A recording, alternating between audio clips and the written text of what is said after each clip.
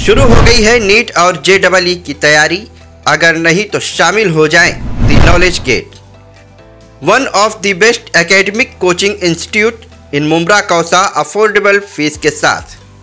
Separate batches for girls, audio video room, digital syllabus और library.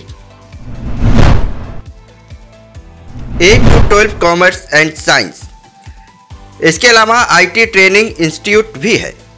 You deserve the best computer education तो आज ही enroll करें the knowledge gate institute में। मैं इस्लामुद्दीन खान और आप देख रहे हैं प्रहार टाइम्स। इस समय मौजूद है मुमरा के एम एम वली के टीएमसी हॉस्पिटल पर। आपको बताएँगे कि इस हॉस्पिटल को जो है प्राइवेट करने को लेकर मुस्लिम लीग पार्टी के जो है फरहत शेख जो है, वो कुछ दिन पहले ही भूख हड़ताल पर बैठी थी।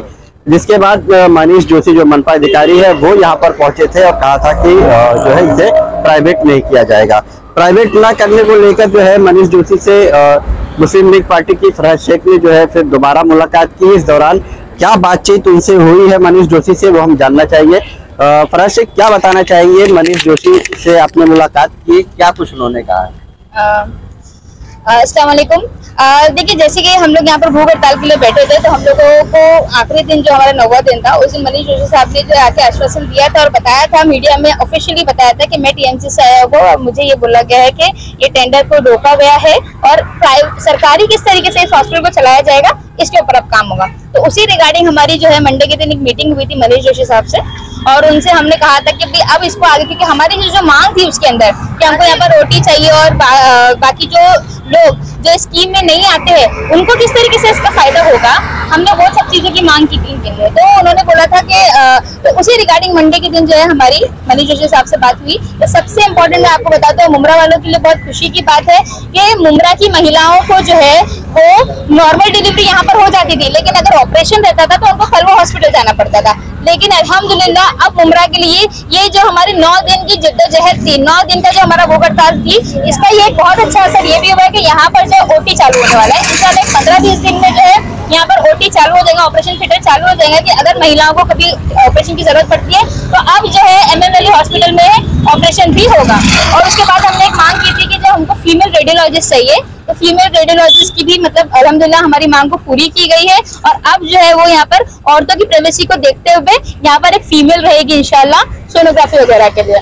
उसके बाद हमने ये भी मांग की थी उनसे कि जो लोग स्कीम में नहीं आते हैं, उनको आप किस तरीके से इलाज दोगे? तो उन्होंने ये हमको बताया कि सीजीएचसी के रेट यानी central government central government health service के हिसाब से जो है ना, उन बाकी जो जो लोग स्कीम के अंडर में नहीं आते हैं उनका इलाज उस तरीके से किया जाएगा। लेकिन हमने जब सीजीएचसी के रेट को रिफर किया तो हमें समझ में आया कि ये रेट जो है वो मुंबई के लोग अफोर्ड शायद नहीं कर पाए। क्यों? क्योंकि यहाँ पर जो है, हम लोग नॉर्मली दस रुपए की पावती देते हैं और उसके अंदर बीस, तीस रुपए की दवा लेते हैं। चालीस मोस्टली चालीस, पचास रुपए में हमारा काम हो जाता है। हमको दवाएँ मिल जाती है, हमारा ट्रीटमेंट अच्छे से हो जाता है। इसमें डॉक्टर की सर्विसेज़ भी इंक्लूड होती है मेडिसिन इंक्लूड होती है, हर चीज़ इंक्लूड होती है। लेकिन, ये जो सीजीएचसी रेट है, इसके अंदर आपको ओपीडी स्टार्ट होता है डेढ़ सौ रुपए से। और अगर अलग अलग बॉडी का रहेगा अलग अलग चीज़ों की जो डॉक्टर को दिखाना होगा तो उसका ओपीडी का चार्जेस अलग है ठीक है? और उसके बाद आपको डॉक्टर का सर्विस देना पड़ेगा और मेडिसिन का देना पड़ेगा। तो जिसकी वजह से हमने उनको इनकार कर दिया कि इस चीज़ से हम राज़ी नहीं है। हम चाहते हैं कि ये जो ऐसे ना चले ये पूरा सरकारी ही चलेगा आपकी तो मांग थी कि इसे पूरा सरकारी पूरी सरकारी ये चल रहा है तो वो तो वो तो देंगे ही ना अपने सर वो लोग क्या चाहेंगे? क्योंकि उनका अब मैंने आपको पहले ही बताया था कि ये हॉस्पिटल जो है वो यहाँ के जो एमएलए है वो चाह रहे हैं कि उनके वालों को टेंडर मिला मिला जाए। अब वो कुछ ना कुछ तो अपने वालों को खुश करने के लिए बोलेंगे लेकिन हमने फिर इनकार कर दिया है। सीधी सिंपल सी बात आपकी मांग थी कि मांग थी कि इसे जो है सरकारी किया जाए सरकारी ही चलाए। तो फिर इतना दुनिया भर का स्कीम क्यों बताया जा रहा है दुनिया भर की स्कीम घुमाया जा रहा है उनको दुनिया भर की स्कीम बताने दो। हम तो हमारी एक ही स्कीम पे रहेंगे की हमको सरकारी चाहिए। अब वो कुछ भी करे उनको हमको सिर्फ़ एक ही लाइन लाइन उनके सामने बोलना है कि हमको सरकारी हॉस्पिटल चाहिए। और जो बड़े बड़े और बड़े बड़े जो ऑपरेशन होते हैं उसको हमने बोला था कि आप जो उसको स्कीम में डालिए क्योंकि उसमें फ्री में इलाज होता है। और हमको क्या चाहिए था? सर, सरकारी के हिसाब से हॉस्पिटल चले। आपको किसने बताया कि यहाँ के विधायक के लोगों को इसका टेंडर चाहिए? क्योंकि ये जो हॉस्पिटल है इससे पहले जो कोविड वाला चला रहे थे वो जिसको मिला था वो विधायक वाले ही थे। विधायक की तरफ़ से ये आए हुए थे और उन्हीं को ये टेंडर आगे देने के लिए बोला गया है। ये चीज़ें मालूम है हमको, ठीक है? तो ये चीज़ें, ये चीज़, हर चीज़ है ना, कुछ चीज़ें ना, वो बुक रखी जाए अच्छी बात है, कहाँ से पता चली, कहाँ है, ठीक है? और मेरा आगे सबसे इम्पोर्टेंट चीज़ ये ना इस्लामुद्दीन मैं आपको बता दू, ये टीएमसी इस साल चार हज़ार दो सौ करोड़ रुपए मनीष मनीष जोशी साहब जब आए थे तो आपसे तो उन्होंने कहा था कि हम पूरी कोशिश करेंगे इसे जो है सरकार ही चलाए। हाँ सरकारी ही चलेगा। ऐसा स्कीम वगैरह क्यों बताया वो उनको स्कीम बताना है लेकिन हमारा काम तो ऑब्जेक्शन लेना है ना। अच्छा ये, भी जानकारी आ रही है कि दीवा में जो है सरकारी अस्पताल खुल रहा है। हाँ। थाने में भी एक सरकारी बन रहा है। हाँ। तो क्या वो भी प्राइवेट होने वाला है सिर्फ़ मुमरा वाला इसीलिए तो बोल रही है? की मुमरा से खास नफरत है ना इनको। मुमरा में मुमरा के लोगों से खास नफरत है इनको।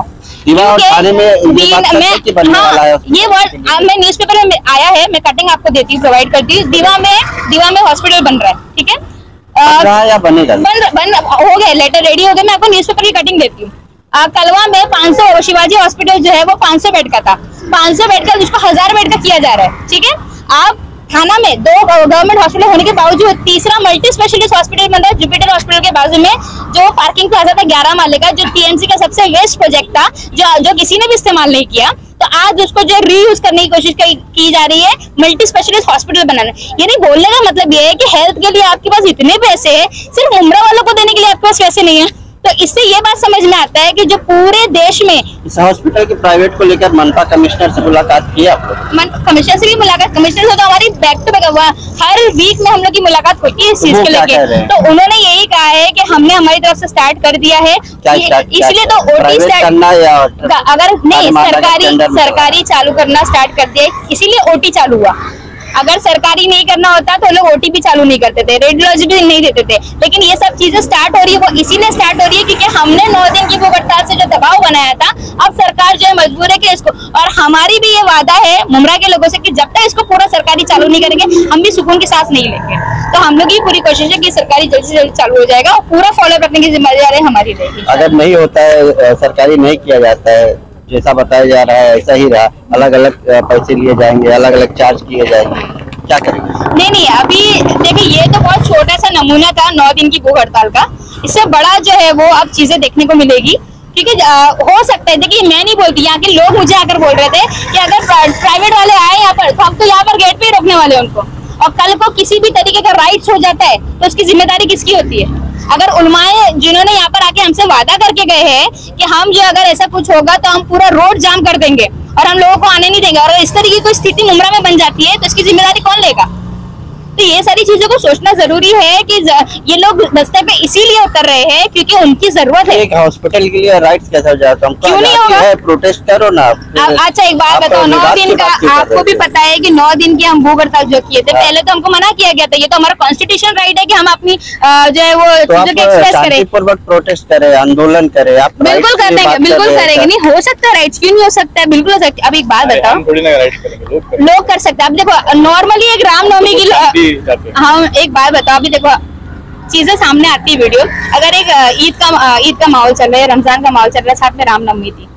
एक जुलूस गया उनका भी और बीच में किसी ने आके उन्हीं के लोगों में से कुछ कर दिया और फिर राइट जैसे हालात पैदा हो गए तो आप किसको जिम्मेदार ठहराएँगे?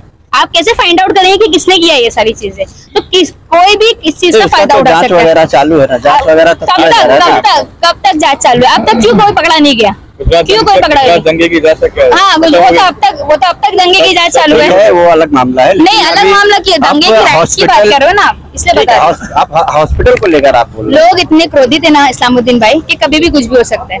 इसलिए हमने ना एक इंटीमेशन उनको ये भी दिया है कि अगर कल को इसको लेके कुछ होता है तो उसकी ज़िम्मेदारी आप लोगों की होती है। मैंने ये बात क्योंकि हिंदू मुस्लिम के जो पूरे राइट्स चल रहे हैं ना पूरे राइट्स नहीं बोलूँगी लेकिन एक हिंदू मुस्लिम की जो नफरत की राजनीति चल रही है ना पूरे देश में उसका कहीं ना कहीं असर मुमरा में भी नज़र आ रहा है। क्योंकि यहाँ के जो विधायक है और इसकी पूरी ज़िम्मेदारी मैं बोलती ना कि वो यहाँ के विधायक जितेंद्र अवार्ड पर है। वो जितेंद्र अवार्ड, जो कलवा का भी विधायक है मुमरा का भी विधायक है, क्यों कलवा में प्रोजेक्ट नए पे नए लॉन्च हो रहे हैं और क्यों मुमरा में नहीं मिल रहे?